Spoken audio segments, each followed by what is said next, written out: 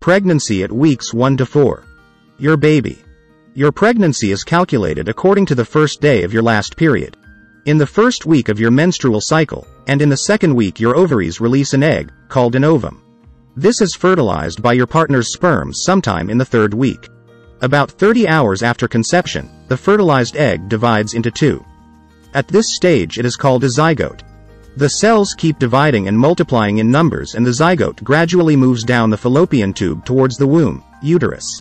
By the end of the fourth week, the egg implants itself into your uterus. It is now called a blastocyst. It is about 0.2 millimeters wide and contains about 200 cells. The blastocyst is made up of different layers of cells. The outer layer, called the ectoderm, will become the baby's nervous system and brain. The middle layer, or mesoderm, will become the heart, blood vessels, muscles, and bones, and the inner layer, or endoderm will become the breathing and digestive systems.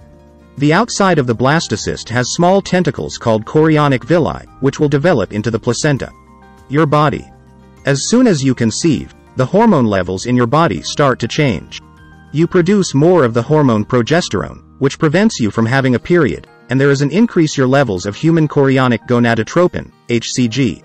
This is the pregnancy hormone that is detected when you do a pregnancy test.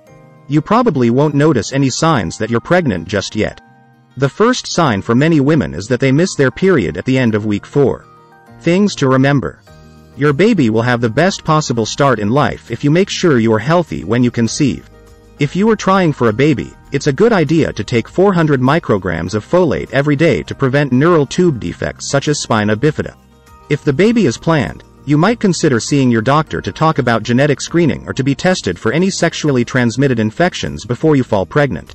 You should try to eat a healthy diet and make sure you're not overweight when you're trying to fall pregnant. Not drinking alcohol and giving up smoking are best for your baby.